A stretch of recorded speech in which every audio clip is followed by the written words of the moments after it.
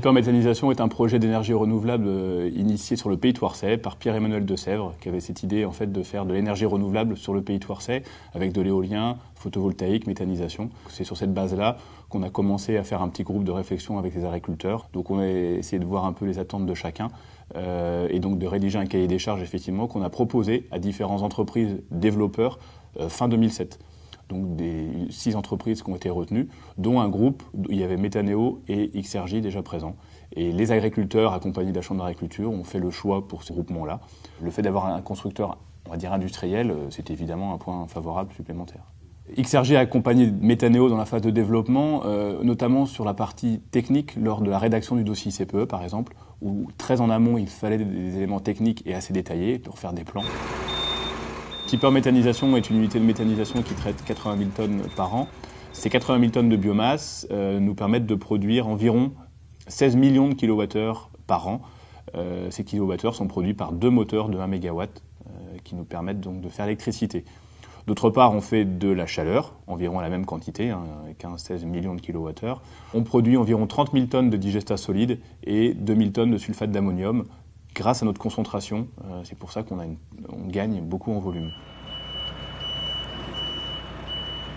Donc l'unité de méthanisation, sa grosse spécificité, c'est de traiter euh, un très gros volume de fumier et d'une manière générale euh, une diversité de produits provenant de l'agriculture, à la fois des matières solides comme les fumiers, des liquides, des boues graisseuses provenant de l'agroalimentaire et même des matières provenant de l'agroalimentaire mais solides.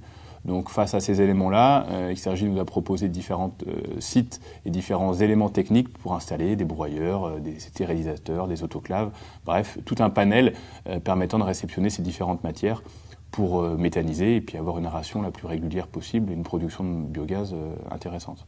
On a réfléchi à un traitement d'odeur. Donc tout, tout d'abord un bâtiment complètement clos où on déverse l'ensemble des matières, on traite l'air par tour nettoyage, plus un biofiltre.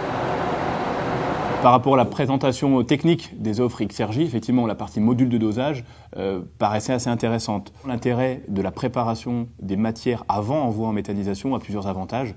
On chauffe la matière en avance, donc on n'a pas de chauffage dans les digesteurs. S'il y a un problème de moussage, de colmatage, euh, on le voit dans 20 mètres cubes de module de dosage et non pas euh, dans le digesteur, et là c'est un peu trop tard.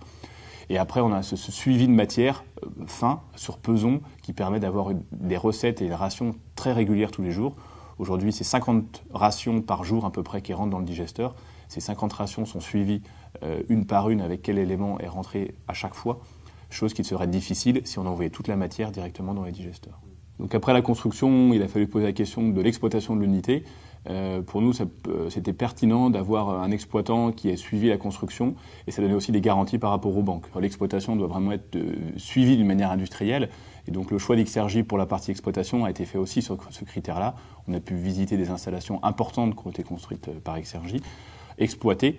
Et c'est ce critère-là aussi qui était important pour nous, un suivi d'exploitation, un suivi à distance, hein, puisque les équipes danoises sont à même de suivre l'unité à distance sur le site de Toire. Euh, une professionnalisation des équipes euh, pour suivre ça 24 heures sur 24 pour atteindre les objectifs de production, euh, objectifs qui sont garantis par XRJ à partir du moment où la biomasse apportée est cohérente. L'équipe d'exploitation a été formée grâce aux ingénieurs XRJ Danemark qui sont venus depuis le mois de juin régulièrement toutes les semaines afin que l'ensemble de cette équipe française et toirçaise puisse apprendre le bon fonctionnement de l'unité méthanisation, c'est une unité euh, industrielle, on va dire. Donc on va penser notamment à l'aspect transport. Donc c'est en ça qu'on a mis des camions plutôt que des tracteurs, des camions qui sont pleins dans les deux sens, donc ça pour limiter un peu le, nombre de, trajets euh, sur l'unité. La réflexion avec l'architecte a été de construire une unité qui s'intègre au mieux dans cette zone industrielle, donc avec des toits courbes un peu travaillés, une charpente en bois et euh, un ensemble de bâtiments et d'aménagements paysagers qui s'intègrent parfaitement dans une zone industrielle.